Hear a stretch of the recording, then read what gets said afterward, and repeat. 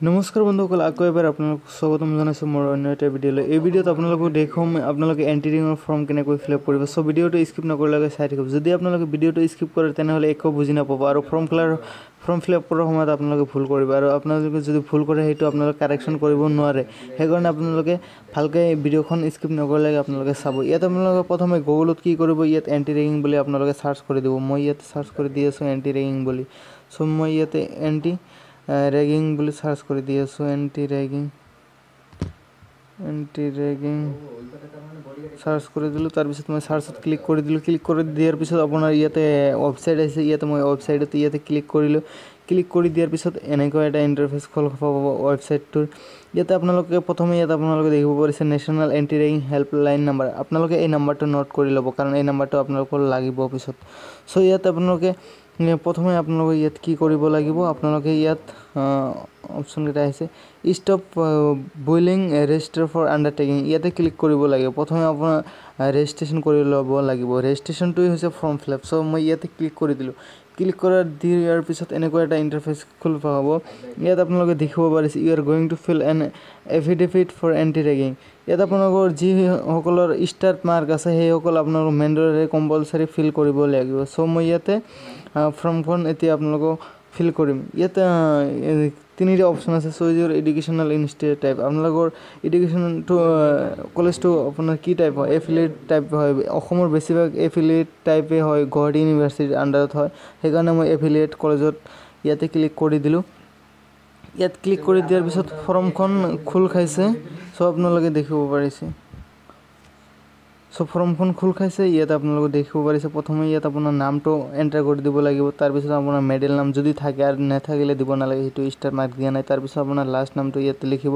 তাৰপিছত আপোনাৰ জেণ্ডাৰটো কি হয়? যদি আপুনি মেল বা ফিমেল হয় সেইটো আপুনি ইয়াত চিলেক্ট কৰি দিব। তাৰপিছত আপোনাৰ নেশ্যনেলিটি চিলেক্ট কৰি দিব। আপুনি ইণ্ডিয়ান হয় ইণ্ডিয়ানটো ইয়াত আপোনালোকে লিখি দিব।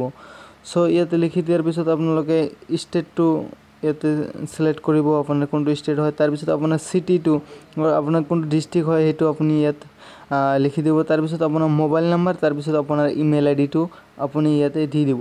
তাৰপিছত আহিলে পেৰেণ্টছ এণ্ড গাৰ্জেন ডিটেইলছ ইয়াত আপোনাৰ পেৰেণ্টছৰ নাম দিব তাৰপিছত আপোনাৰ প্ৰেজেণ্ট পেৰেণ্টছ আপোনাৰ দেউতাকৰ মোবাইল নাম্বাৰ দিব যদি নাথাকে তেনেহ'লে আপোনাৰ যিটো আছে সেইটো দি দিব আপোনাৰ পেৰেণ্টছৰ গাৰ্জন গাৰ্জেনৰ এড্ৰেছটো দিব ফ্ৰেণ্ড গাৰ্জেনৰ এড্ৰেছ দিব চ' আপোনাৰ দেউতাকৰ এড্ৰেছটো ইয়াতে দিব আপোনাৰ দেউতাৰ ইমেইলটো দিব। যদি নাথাকে আপোনাৰটো চেম দি দিলে হৈ যাব। আপোনাৰ ফ্ৰেণ্ড চিটিটো ইয়াতে দি দিব আপোনাৰ গাৰ্জেনৰ তাৰপিছত আপোনাৰ গাৰ্জেনৰ ষ্টেটটো ইয়াত চিলেক্ট কৰি দিব।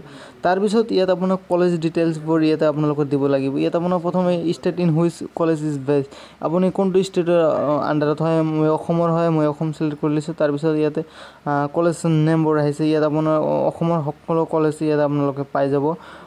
মই অভয়পুৰ কলেজৰ হয় মই অভয়পুৰ চিলেক্ট কৰি লৈছোঁ।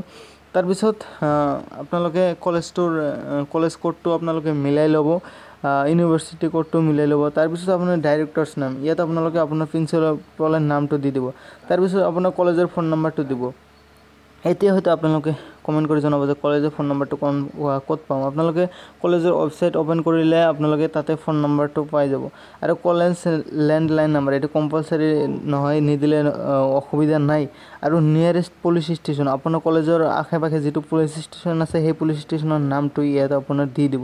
তাৰপিছত আৰু ইম্পৰ্টেণ্ট কিছুমান ডিটেইলছ আছে। ইয়াত আপোনাৰ কৰ্চ ডিটেইলছটো দিব লাগিব। আপুনি কি আণ্ডাৰ গ্ৰেজুৱেট হয় না পষ্ট গ্ৰেজুৱেট বা আণ্ডাৰ গ্ৰেজুৱেট ডিগ্ৰী না পষ্ট গ্ৰেজুৱেট ডিগ্ৰী চ' আমি যিহেতু আণ্ডাৰ গ্ৰেজুৱেট হয় সেইকাৰণে মই আণ্ডাৰ গ্ৰেজুৱেট ডিগ্ৰী চিলেক্ট কৰি দিছোঁ। আণ্ডাৰ গ্ৰেজুৱেট ডিগ্ৰী চিলেক্ট কৰি দিছোঁ। তাৰপিছত আপোনাৰ কৰ্চটোৰ নামটো লিখি দিব লাগিব আপুনি কি course B A B voc বা বি এইচ চি সেই কৰ্চটোৰ নামটো ইয়াত লিখি দিব। আপোনাৰ ক্লাছত কিমান ষ্টুডেণ্ট আছে সেই ষ্টুডেণ্ট কিমান আছে কিমান নাম্বাৰ আছে এই নাম্বাৰটো ইয়াত আপোনালোকে দি দিব। ইয়াত আপোনাৰ কাৰেণ্ট ইয়াৰ ষ্টাডি ইয়াত আপোনাৰ কাৰেণ্ট ইয়াৰটো আপুনি first year third second year third year কোনটো হয় সেইটো আপুনি চিলেক্ট কৰি দিব মই ফাৰ্ষ্ট ইয়াত ফাৰ্ষ্ট চিলেক্ট কৰি দিছোঁ তাৰপিছত আপুনি ইউ জি চি ৰেগুলেশ্যন ইয়াত আপোনালোকৰ ইয়াত এইবোৰ টিক মাৰ্ক কৰি দিব লাগিব আই কনফাৰ্ম এইবিলাক টিক মাৰ্ক কৰি দিব লাগিব এইবোৰ আপোনালোকে পঢ়ি ল'ব পাৰে টিক মাৰ্ক কৰি দিছোঁ তাৰপিছত ইয়াত আছে হোৱাইৰ এভৰি ৰেক আপুনি ৰেগিং কৰিছে নেকি? যিহেতু আমি ৰেগিং কৰা নাই সেইকাৰণে ন' দিছোঁ did you ever rag anybody মোক মই কোনোবাক ৰেগিং কৰিছোঁ নেকি? তো ইয়াতে মই ন' কৰিছোঁ। আৰু আপোনাৰ যিটো নেশ্যনেল নাম্বাৰ আপোনালোকে যিটো নোট কৰি ল'ব কৈছিলোঁ সেই নাম্বাৰটো ইয়াতে দি দিব। তাৰপিছত আপোনাৰ does ragging happen in your college আপোনাৰ কলেজত ৰেগিং হয় নে নহয়? তো আমাৰ কলেজত ৰেগিং নহয় সেইকাৰণে মই ন কৰি দিছোঁ। যদি আপোনাৰ ক্লাছত কলেজত অলপ যদি ৰেগিং হয় তেনেহ'লে এম আই এল ডি এইটো চিলেক্ট কৰিব লাগে। আৰু যদি বেছিভাগ ৰেগিং হৈয়ে থাকে তেনেহ'লে আপোনালোকে চেৱাৰত ক্লিক কৰিব লাগে। আমাৰ কলেজত ৰেগিং যিহেতু নহয় মই নত ক্লিক কৰি দিছোঁ। তো আই হেভ ৰিচেক ফ্ৰমত ক্লিক কৰি দিছোঁ। তাৰপিছত মই ছাবমিটত ক্লিক কৰি দিছোঁ। ছাবমিট আপোনালোকে ছাবমিট দিয়াৰ পিছত এনেকুৱা এটা ইণ্টাৰফেচ পাব। ইয়াত আপোনালোকে দেখা পাব ইয়ৰ ৰেকৰ্ড ছাবমিটেড ছাকচেছফুলি ইয়াত আপোনাৰ এটা ৰেফাৰেঞ্চ আই ডি থাকিব আৰু ইয়াত আপোনাৰ নাম থাকিব আৰু ইয়াত আপোনালোকৰ ইমেইল আই ডি থাকিব। আপোনালোকে এইটো কি কৰিব আপোনালোকে স্ক্ৰীনশ্বট মাৰি ৰাখিব কাৰণ এইটো আপোনালোকৰ লাগিব। তো এইটোৰে আপোনালোকে এতিয়া আণ্ডাৰটেকিং ফৰ্মখন ডাউনলোড কৰিব। কেনেকৈ মই দেখুৱাই দি আছোঁ। তো আপোনালোক চাই থাকক মই এইটো স্ক্ৰীনশ্বট মাৰি লৈছোঁ। মই এতিয়া মই বেগত ক্লিক কৰিছোঁ ইয়াত এণ্টিৰিঙত ক্লিক কৰিছোঁ। বেগত ক্লিক কৰি দিলোঁ। ইয়াত আপোনালোকৰ বেগত ক্লিক কৰি দিয়াৰ পিছত ইয়াত আপোনালোকে অপশ্যন পাব। ইয়াত মোৰ ইণ্টাৰনেট শ্ল' হোৱাৰ কাৰণে অহা নাই আহিব আহি দেখুৱাই আছোঁ।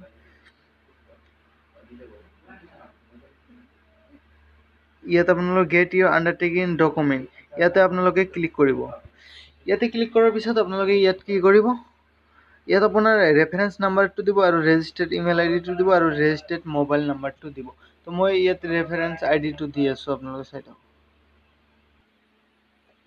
ইয়াত আপোনালোকে ৰেফাৰেঞ্চ নাম্বাৰটো দিব আৰু ৰেজিষ্টাৰ্ড ইমেইল নাম্বাৰ ইমেইল আই ডিটো দিব আৰু মোবাইল নাম্বাৰ দি ইয়াত আপোনালোকে ছাবমিটত ক্লিক কৰিব ক্লিক কৰাৰ পিছত আপোনালোকে এনেকুৱা এটা ফৰ্ম পাব এইটো আপোনালোকে কলেজত লৈ আপোনালোকে এইটো জমা দিব লাগিব। চ' এইখিনি আছিলে আজিৰ ভিডিঅ'টো। যদি ভিডিঅ'টো ভাল লাগে তেনেহ'লে লাইক কৰিব আৰু চেনেলটোত যদি প্ৰথমবাৰ হৈ থাকে তেনেহ'লে ছাবস্ক্ৰাইব কৰিবলৈ নাপাহৰিব। এনেকুৱা ভিডিঅ' আপোনালোকে পাই থাকিব চেনেলটো ছাবস্ক্ৰাইব কৰি ৰাখিব। চ' ধন্যবাদ।